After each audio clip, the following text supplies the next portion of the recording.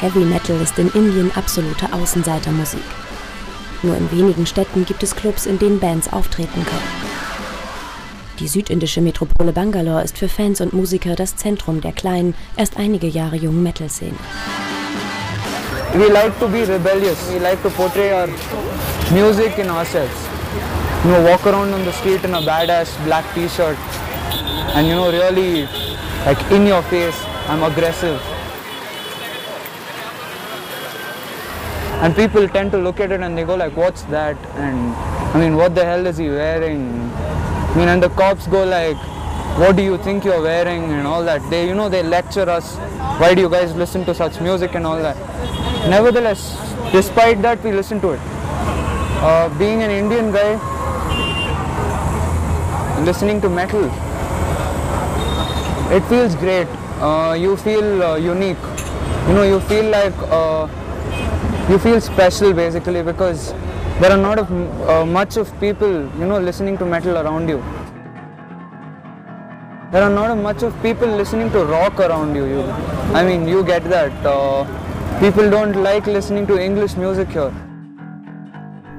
Internationale Musik ist der breiten Masse in Indien außerdem schwer zugänglich. Bereits der Erfolg indischer Künstler hängt stark von ihrer Präsenz in Filmen ab. Musikkino aus Bollywood hat Tradition. Wer es auf die Leinwand schafft, wird auch im Radio gespielt. Generally people don't know about uh, bands being from other genres uh, except and, and not from Bollywood. They only know Bollywood song. If you say this song is good, he will say which singer or which film is that song from. Ansar Suhas und Amayet haben vor wenigen Monaten Horns Up Entertainment gegründet. Sie organisieren Gigs und wollen lokale Nachwuchskünstler unterstützen. Wie zum Beispiel Shashank hier mit der Band And Evermore. The difficulty is that uh, about the metal thing is that we don't get any investors first thing or sponsorships, or sponsorships. Like, uh, which we never goes, get yeah, like which goes say uh, if a international uh, DJ comes in India or if you can promote them you get a lot of sponsors like corporate sponsors or beer companies they'll put in like millions of dollars they'll sponsor but it's not same as metal scene Heute findet zum ersten Mal das Moshfest statt. Mehrere lokale Bands treten in einem kleinen Club in der Innenstadt Bangalores auf. Eine Konzertidee von Horns Up. Lukrativ ist das jedoch nicht. And even we are doing this gig, putting our own money, our own investment, and which we don't have much. Uh, but at least we are trying to do it in a very decent and a, a way that people can, a new people can come and see and start loving this genre of music. And we're doing more as a passion, not as Yeah. a money perspective as well. Als Manager der Band Slither verdient Suhas ebenfalls so gut wie nichts. Im Blue Waves Club warten die Musiker auf ihren nächsten Auftritt. Suhas ist angespannt. Seit Stunden ist er an der Location und kümmert sich um Aufbau und Soundcheck. It's itching for me to just go and start moshing and headbanging. So it's like everyone in the band are like really excited about this gig because we are co-headlining. So it's the first time that we're actually doing this. So it's a good response that we actually got. So I'm just waiting for the fans to turn out and support us as well. Es kommen kaum Fans. Obwohl es in Bangalore für indische Verhältnisse überdurchschnittlich viele Metal-Anhänger gibt, bleiben bei Konzerten oft die Besucher aus.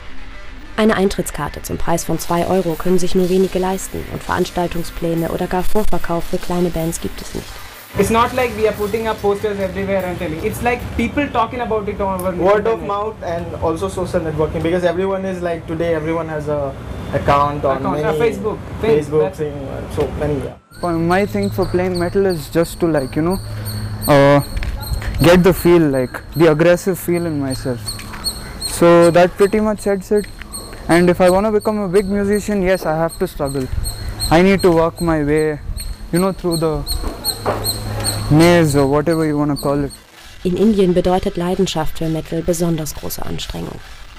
Noch ist die Szene zu klein, um gesellschaftlich akzeptiert zu sein. I can I can be the uh, good guy and tell you uh, that uh, India is ready for metal and you know a lot of people are playing it and all that.